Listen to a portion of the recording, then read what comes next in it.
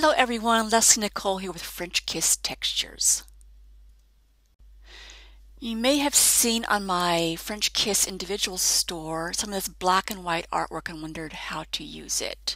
So today we're going to take one of these script photographs and a couple of these what I call secret weapon edges and I'll show you how to use those in your photography. Alright, today I have this poppy image photographed against white and we're gonna I'm gonna show you how to take a texture a script overlay and two edge overlays to make this final piece. Okay because I don't want to make this video too long and or too complicated I'm going to concentrate on how to use the overlays. I'm going to skip over resizing textures, layer mask, all that. I'm assuming that you know that stuff. So first I've placed my texture Chivalry and I've made a layer mask. Okay, when you get my overlays, they come with a transparent background. This is some French script from 1875 and I've gone ahead and placed it into my image and as you can see it comes in black with a transparent background. So how do we get the text from black to looking like that. Here's the trick. I'm going to go to my layers panel and add a solid color adjustment layer. Now for now it doesn't really matter what color you pick. We're just going to pick something that gets, gets us close to where we want to go. Alright. I'm just going to choose something in there. Click OK. So first we just see this solid color Here's the trick. Go back over to your Layers panel, click on the layer with the text in it, and then hold on your Option or Alt key on the PC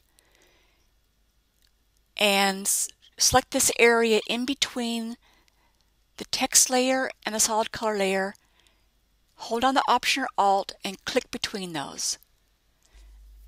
And there we go.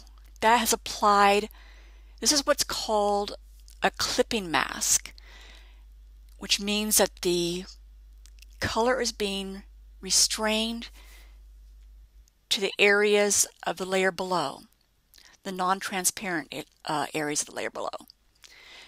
Now, I already have my text set at multiply, and I want to change the color. So all I have to do is double click that color square.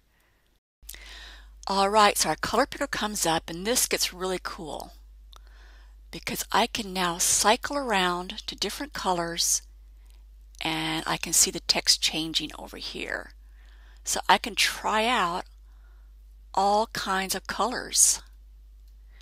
And I'm not limited to the color picker. I can go over here and choose a color here. I can choose a color from my color swatches over here. Or I can even open up my swatches and I've already picked out the color that I want for this. So I'm going to go ahead and choose it. Here's another groovy thing. Let's say that I'm surfing around and I like that, but I'm not quite sure if I really want to use it, but I want to be able to come back to it. Add it to your swatches. Hit OK and that saves it. So if I want to come back to this, I can. All right, I'm going to reset to the color I've chosen before and hit OK. Now I've already had this on multiply, the uh, text layer, but if I wanted to, I could try something else. I could try color burn. That doesn't do me much good in this color, but with another color it might. There's linear burn, gives me a stronger um, effect. I could come down here to screen. It turns white. So this is very powerful. Linear dodge. I like to multiply, so I'm going to go back there. I've already created a layer mask, so I'm going to activate that. And there I have my text behind my flower. Let's go on to the layer edges. Okay, I've placed my rough canvas edge on here in my document. I'm going to do the same thing here. I'm going to select the layer with the rough canvas edge, add a solid color adjustment layer, and I've already picked out a color so I'm going to go ahead and choose that for my swatches. Hit OK. Same thing, I'm going to go back, make sure my edge layer is selected in the layers panel. Option or Alt click between the overlay and the solid color adjustment. And the color turns pink, but because I'm still on normal blend mode, it looks a little funny. Actually, I don't remember which one I used on here. I'm going to have to check on that. I think it might have been linear burn. I'm going to go check real quick. Yes, I used linear burn at 57%. There, that drops down nicely. And it'll note here, you want to do your blend modes, opacity, and all that on the actual overlay, not, oops, didn't want to open that, not on the um, adjustment layer. Okay, so make sure you're doing your blend modes and your opacities on the actual overlay. Okay, when I was creating this image, I quite liked this effect with the edge overlay. It brings a little bit of extra color and filled this negative space underneath the flower nicely. But I thought, you know, I think I like a little something else with it.